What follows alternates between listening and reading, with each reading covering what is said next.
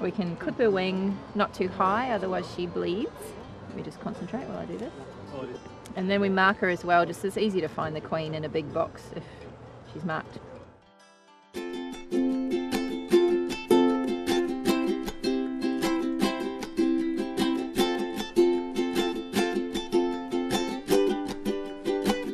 It's Western Australia's famous tourism destination, but Rottnest Island has another lesser known claim to fame. It's also home to what's probably the longest continuous queen bee breeding program anywhere in the world. Every year, about 300 hives are shipped to Rottnest, where nature takes its course, hidden from view in the centre of the island. It's basically just a line breeding program.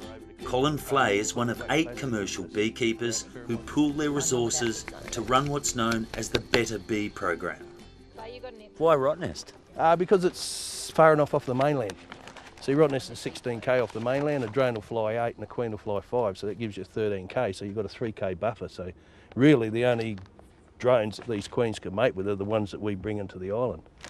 So that's the idea, everyone breeds from their best uh, queens, breeds drones, bring them over here. They're um, a bit slower to mature, so they have to come over early and then they fly, they mature, and then we bring the queens over to synchronise the sexual maturation rates. And then they mate like most things do on Rotto, I guess, and then uh, yeah, we'll find out on Tuesday how And- we went.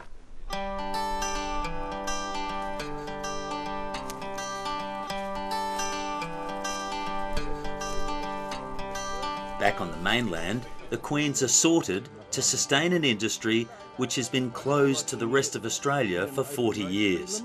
The breeding program was started by the Department of Agriculture in 1980 because quarantine restrictions meant queens could no longer be sourced from the eastern states. There's a disease outbreak in South Australia called European foul brood, and the Department of Agriculture at the time didn't want to uh, get that disease into Western Australia. The department got stock donated from the industry, and we established 20 breeding lines from the best stock that they donated. And once that was established, we used artificial insemination and homogenised semen to select the best queens in the program. Lee Allen started the program and now in retirement is still a keen participant. As long as I can stand and, and keep going, I'll be, I'll be right here. You can just go to the top of the class, Miss Bates. After nearly 40 years of continuous genetic improvement, the program's queens are renowned for their calm temperament and ability to breed bees producing nearly double the global average of honey per hive. When we have brood capped, that means that the queen is the correct age and she's the right lineage. And so we can clip her wing not too high, otherwise she bleeds. And let me just concentrate while I do this. And then we mark her as well, just it's easy to find the queen in a big box if she's marked. Tiffany Bates has been breeding queens for the last six years for the University of WA. The best are worth up to $1,200 each, but most of the Rottnest queens are kept by the beekeepers in the program. Well, she's the breeder, really. So some people think that she's running things. That seems to not be the case. She can lay 2,000 eggs a day. She also pumps pheromones out from all different parts of her body, her feet, her abdomen, and the bees check on those pheromones all the time to make sure she's functioning properly. And if she's not, they'll supersede her, they'll make a new one. So it's a pretty ruthless situation. Um, but her job basically is just laying eggs and making sure that she's keeping the colony running in terms of pheromone production. So, healthy queen, healthy hive. Absolutely. Yep. Young queen also makes a really big difference. If the queen's getting a bit old, um, the colony will start to be less productive and less disease resistant. Then just put her back. She'll smell a bit like my fingers. The bees question her when she goes in, but then she's okay. It's not just the breeding program in WA that stands the industry apart here. Bioactive honey from the state's unique Jarrah and other forests has been discovered by the world, sparking a liquid gold rush. Oh yeah, they're all coming in now, mate. As soon as people realise the worth of the product, because you know it sells itself. If you've got a good product that has major health benefits, well, then people are going to want it. And if there's a market that's quite, you know, got a, quite a premium on it due to the, you know, compared to the normal price of honey. prices are based on bioactivity, the level of medical and health giving properties in the honey, and the strongest have earned as much as $100 a kilogram in China. Independent testing of Jarrah and Marri honey in New Zealand last year found it had stronger antimicrobial properties than Manuka honey. Rather than talking about one is better than another, what we would like to see in a therapeutic manner is that in different situations you will use a different honey. Diversity is a very good thing uh, because uh, microbial resistance is something that uh, naturally occurs over time. And so, when we have a diversity of mechanisms of, of, of uh, dealing with microbial resistance, what we end up is stronger, stronger therapeutic outcomes. Yeah, we've got a good range of honeys this year. I'm noticing that there's quite a bit of variation in colour here. Ken Dods is running a $3 million research program at WA's Chem Centre Analytical Laboratory, helping build science backed foundations for WA's emerging active honey industry. So far, tests have shown the WA product also has strong anti inflammatory properties and is prebiotic, helping improve human gut health.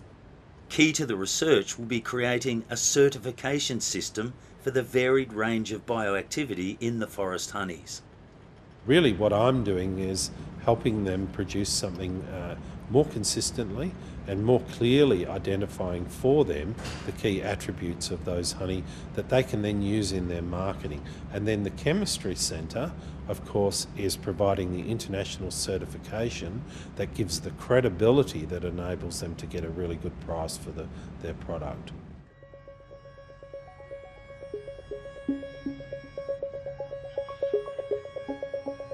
The Chem Centre project is part of a huge new focus on research, and WA is now also home to a national collaborative research centre for honeybee products.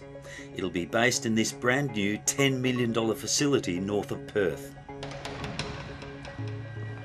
And this is our laboratory here.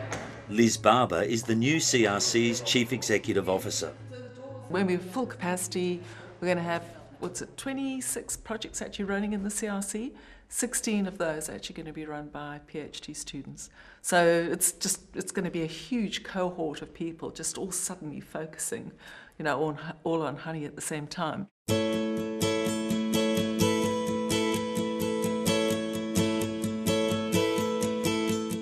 The research will target areas such as bee health and nutrition, beekeeper training, traceability, and chain of custody fraud protection. What it does is that it actually connects us with everything that's happening internationally. And that's the most important thing is keeping an eye on that we can actually translate immediately of something we see out there that we can actually bring to Australia and actually incorporate it in what we're doing. So that's what what's so great about being a cooperative research centre is you're very hands-on. You know, it's not you do the research and you isolate it in a laboratory. Um, we are very much involved with the industry. I mean, we've got more industry partners than we have researchers.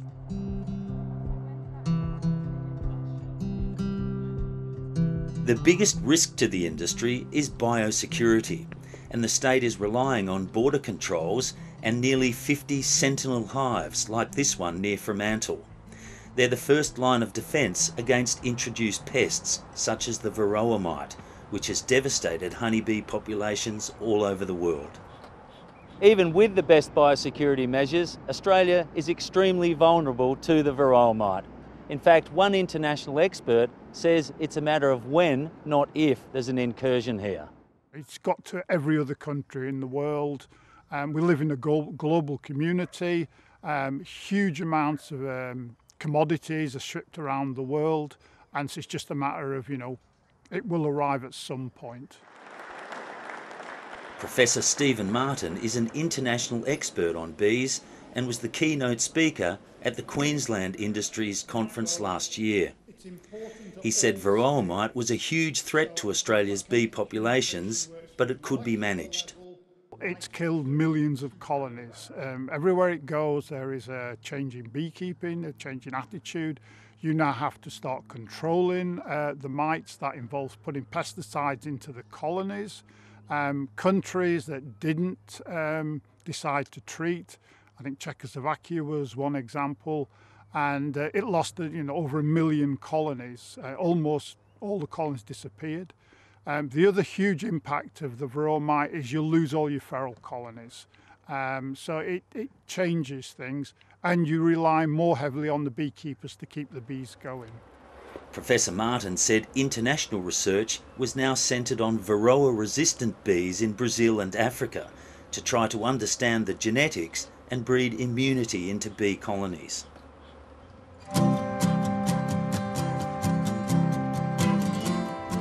The new honeybee product CRC says it's keen to join the international research effort using cutting edge proteomics. What you do is you actually see the protein profile of a bee that actually is resistant. And instead of us actually you know, exposing the bee to the disease, what we do is we look for those protein profiles and then we start breeding those bees up. And of course, the big advantage is, of course, we've got one of the oldest breeding programs, you know, here in Western Australia.